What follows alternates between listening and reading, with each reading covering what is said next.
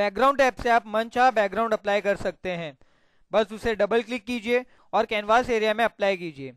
आप अपने खुद के बैकग्राउंड भी ब्राउज करके इंसर्ट कर सकते हैं। बैकग्राउंड की एक खास बात यह है कि आप जो भी बैकग्राउंड इंसर्ट करते हो, उसके 18 ready to use tones album express automatically generate करके देता है। यही नहीं, अगर आपके खुद के कोई बैकग्राउंड आपने ब्राउज किए हैं तो उसके भी 18 ready to use tones automatically generate करके देता है। आपको अगर बैकग्राउंड पे सॉलिड कलर डालना है तो कलर पिकर से कोई भी कलर सिलेक्ट कीजिए और उसे यूज़ कीजिए। क्लिपार्ट टैब से आप क्लिपार्ट भी इंसर्ट कर सकते हैं। आपको बस क्लिपार्ट पे डबल क्लिक करना है और उसे कैनवास एरिया में इंसर्ट करना है।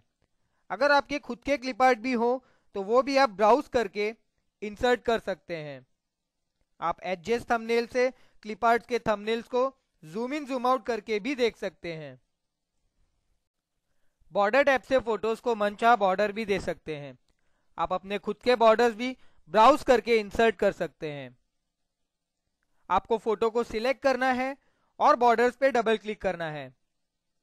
आप एडजस्ट थंबनेल से बॉर्डर्स को जूम इन और जूम आउट करके भी देख सकते हैं।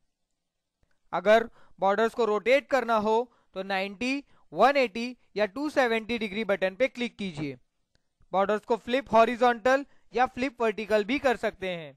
अगर बॉर्डर्स को रिमूव करना हो तो रीसेट बटन पर क्लिक कीजिए। मास्क टैब से फ़ोटोज़ को मनचाह मास्क भी दे सकते हैं। आप अपने खुद के मास्क भी ब्राउज करके इंसर्ट कर सकते हैं। बस आपको फ़ोटो को सिलेक्ट करना है और कोई भी एक मास्क पे डबल क्लिक करना है। आप एडजस्ट थंबनेल से मास्क के thumbnails zoom in zoom out करके भी देख सकते हैं। अगर मास को रोटेट करना हो तो 90, 180 या 270 डिग्री बटन पे क्लिक कीजिए। मास को फ्लिप हॉरिजॉन्टल और फ्लिप वर्टिकल भी कर सकते हैं।